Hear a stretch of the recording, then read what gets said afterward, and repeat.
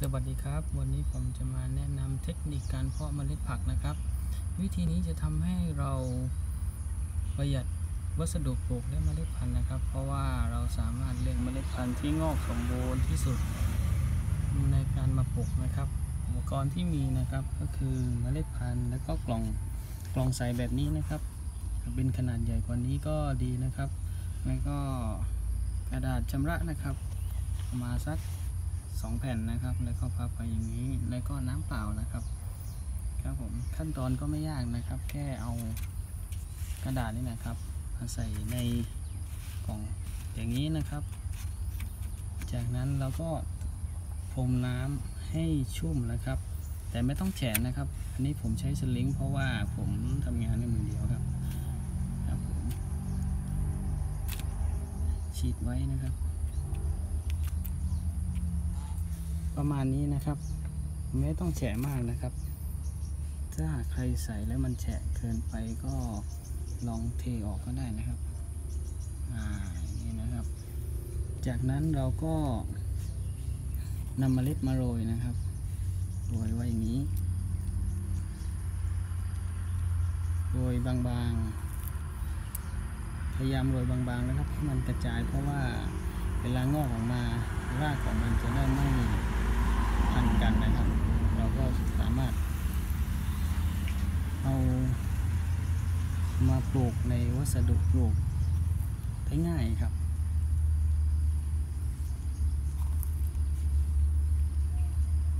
ประมาณนี้นะครับ จากนั้นเราก็ปิดปิดไว้อย่างนี้ครับ เพื่อไม่ให้ความชื้น ไม่ให้มันสูญเสียความชื้นนะครับ แล้วก็หาเทปใสมาปิดนะครับ แล้วก็ตั้งไว้ในที่ไม่โดนแดดนะครับ ประมาณ 2 วันนะครับ แล้วมันจะงอกครับผม จากนั้นเราก็เลือกต้นที่มันงอกสมบูรณ์ที่สุดนะครับ ในการมาเพาะใส่ในถาดหลุมอย่างนี้นะครับ อันนี้ผมใช้วัสดุปลูกที่เป็นพิษมอสนะครับ แล้วก็ถาดหลุมขนาด 2 200 หลุมนะครับ ซึ่งถ้าเราเอาเมล็ดมาใส่โดยตรงมันอาจจะไม่งอกก็ได้นะครับ แล้วก็ทำให้เราเปลืองวัสดุแล้วก็พื้นที่นะครับ ครับหลังจากเพาะไว้นะครับ อันนี้ประมาณ 28 ชั่วโมงนะครับ ต้นเมล็ดพันธุ์ของเราครับก็งอกมาดีนะครับ อันนี้อัตราการงอกอยู่ที่ 99%นะครับ ถือว่าเมล็ดพันธุ์แข็งแรงดีแล้วก็คุณภาพก็ยังดีนะครับ อันนี้เป็นเมล็ดพันธุ์สลัดนะครับ เป็นกรีนโอ๊กนะครับนี่ครับประมาณนี้เราก็สามารถย้ายย้ายลงปลูกย้ายลงถาดวัสดุเพาะหรือว่าฟองน้ำได้แล้วนะครับ เพราะว่าถ้าปล่อยให้ยาวกว่านี้คือร่ากมันจะพันกันทำให้เราทำงานได้ช้าแล้วก็ มันอาจจะขาดนะครับ แล้วก็การย้ายก็คือ นี่นะครับ คือเอาเฉพาะส่วนรากนะครับ ลงลงเข้าไปในฟองน้ำนะครับ อย่าเอาทั้งเมล็ดนะครับ เพราะว่ามันจะดีดตัวออกมายากนะครับทำให้มันเน่าได้นะครับ ครับผม อันนี้ลงในฟองน้ำนะครับ ที่เขากรีดมาให้เรียบร้อยแล้ว ฟองน้ำนี้ผมจะบีบให้มันเป็นชิ้นเล็กนะครับ แล้วก็ คือขยำให้มันเป็นชิ้นเล็ก ขยำทั้งแผ่นให้มันเป็นชิ้นเล็ก แล้วก็จุ่มลงไปในถังใหญ่นะครับ ถังน้ำใหญ่ แล้วก็ ปล่อยให้มันพองตัวนะครับ แล้วก็มันจะดูดน้ำเข้าไปได้ดีนะครับซึมน้ำเข้าไปได้ดี แล้วก็ยกมาใส่ในถาดนะครับ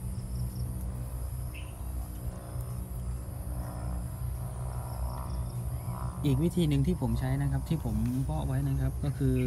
การเพาะลงในพิษมอสนะครับ อันนี้เป็นพิษมอสนะครับ เทคนิคของผมนะครับ ผมก็ใช้ถาดเหมือนกันนะครับข้างล่างจะเป็นถาดแล้วก็เติมน้ำเข้าไป คือ การรดน้ำของเราก็คือผมจะใส่น้ำจากข้างล่างนี้นะครับ แล้วก็ให้มันซึมเข้าไปข้างบนนะครับ มันจะซึมได้ดีกว่าครับผมการรดจากข้างบน การรดจากข้างบนบางทีก็คืออพิษมอสนะครับวัสดุปลูกอย่างนี้พวกนี้มันก็จะกระเด็นออกมาข้างล่างนะครับ แล้วก็ทำให้มันสูญเสียส่วนการหยอดเมล็ดนะครับ เราก็สามารถ หยอดเข้าไปได้เลยนะครับทำ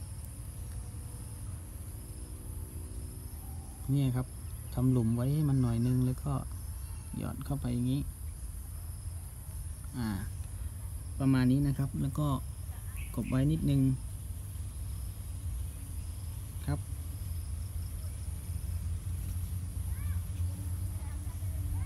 อย่างนี้นะครับก็อันนี้ก็คือต้องทั้งสองอย่างเลยครับ ก็คือระยะแรกๆก็ ต้องไว้ในที่แดดทำไรก่อนนะครับ อย่าไปลงที่แดดจัดก่อนนะครับ ข้อเสียของพิษมอสนะครับ เวลามันโดนแดดนะเวลา เวลามันแห้งมากนะครับ มันจะ มันจะซึมน้ำเข้าไปยากนะครับ คือถ้าเราลดเฉพาะข้างบนนะครับ น้ำมันจะจะไม่ลง มันจะใช้เวลาในการลงนะครับ แล้วบางทีคือเราฉีดกับฟอกกี้หรือว่าบัวรดน้ำอะไรพวกนี้มันก็จะกระเด็นแล้วก็ฟอกกี้ก็คือ ถ้าเราฉีดเข้าไป มันจะซึมเข้าเพราะข้างบน เราก็คิดว่ามันลงไปถึงข้างล่างแล้วแต่จริงมันก็ยังไม่ใช่นะครับ มันแค่ซึมพิ้นผิวข้างบนครับ ยังไม่ลงไปข้างล่าง มันก็ทำให้พืชเราเสียหายได้นะครับ มันแต่ถ้าใช้อย่างนี้นะครับ ก็คือเราอาจจะหาถาดที่มันสูงกว่านี้หน่อยนะครับ สูงเท่ากับาถาดพ่อของเรานะครับ